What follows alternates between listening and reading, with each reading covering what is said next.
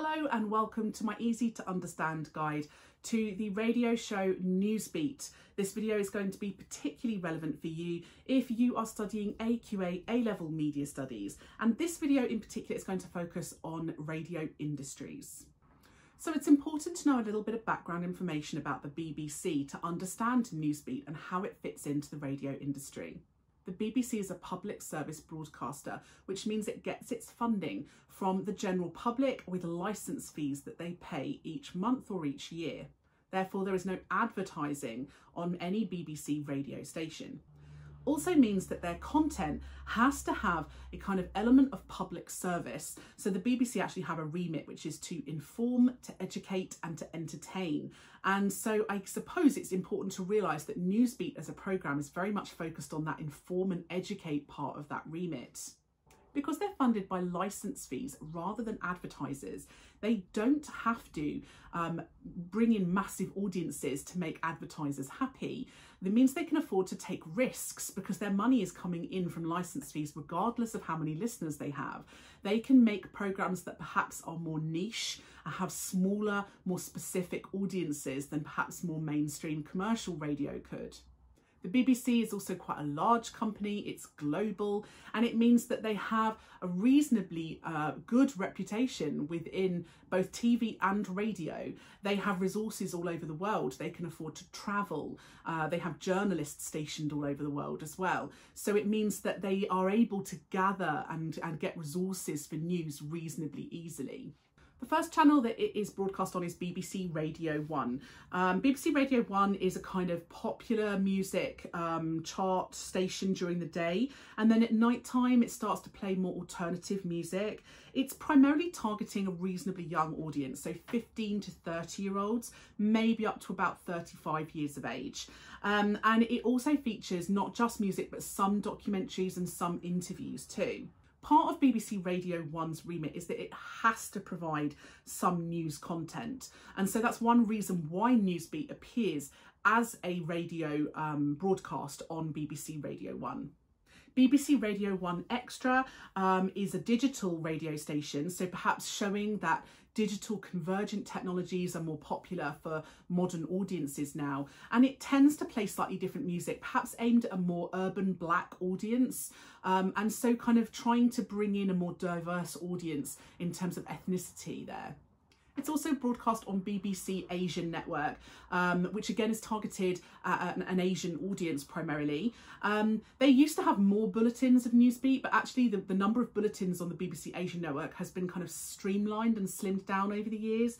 And I think that's to reflect the fact that the BBC have actually gone through some quite strict budget cuts. They've cut down a lot of staff, they've moved their um, main offices, um, and so perhaps the streamlining and showing one or, you know, broadcasting one one news show across three channels reflects the fact that their um, operating costs have had to be quite restricted in the last few years.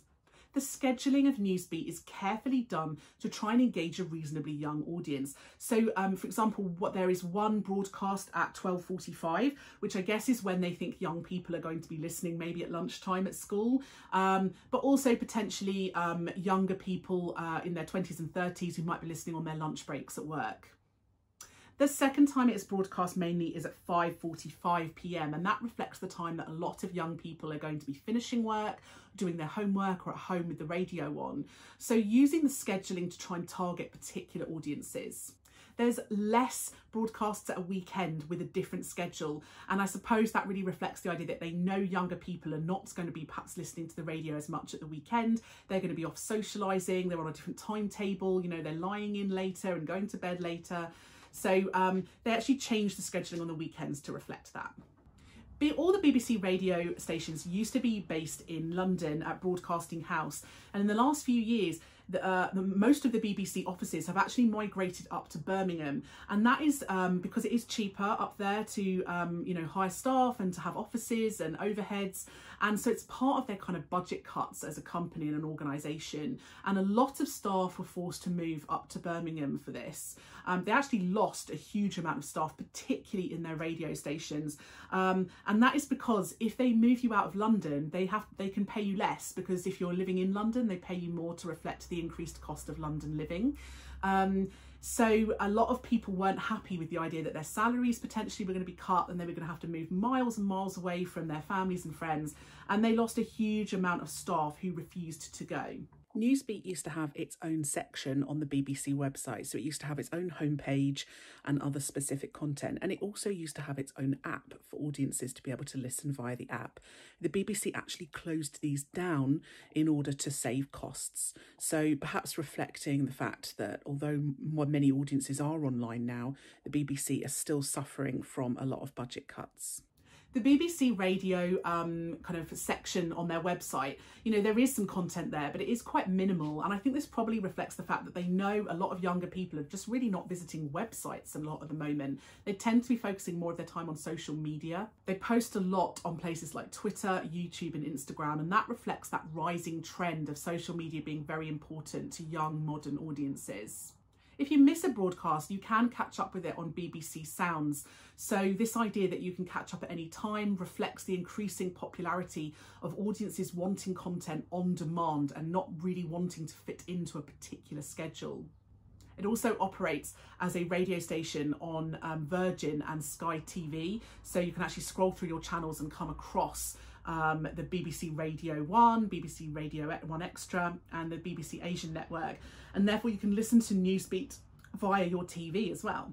Another way that they're thinking of trying to broaden their audience is coming out with a global edition of Newsbeat.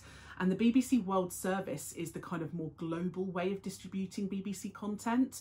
Um, they're actually thinking of trialling a global version of Newsbeat. Um, and that's something that they're potentially going to do later on this year. So it'd be interesting to see whether or not that has any success. Radio is regulated by Ofcom, which means that there are some restrictions on what Newsbeat can um, cover and what they can report on. Um, you know, they, they can't be too graphic, they can't be too controversial, they have to think about their kind of, uh, you know, reasonably young audience. So there is a certain amount of control of things that they can and can't say on their radio stations. So that was my very short, simple, easy to understand guide to Newsbeat and industries. Don't forget to check out my channel for other videos that are going to be relevant for you. And if you've got any comments or questions or particular videos you would like, just leave me a comment below and I'll see what I can do.